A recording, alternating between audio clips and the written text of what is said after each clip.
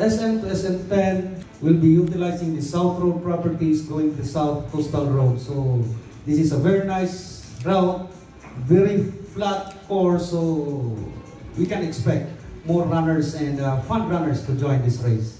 Hi everyone. Uh, we'd like to invite everyone to join us at the SM City Cebu SM to SM Run Year 10 happening on Feb 16, 2020.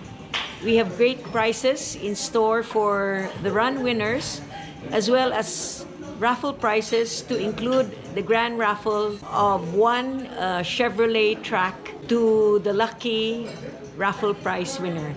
So please join us on Feb 16, 2020 and register early for your early bird discount from December 16 to 31. Thank you and see you at the run.